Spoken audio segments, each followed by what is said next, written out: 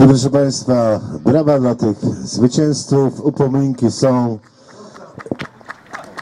Pierwsza część spotkania się zakończyła, jak powiedziałem, e, w meczu 1 do 1 i jeszcze parę minut i druga część spotkania.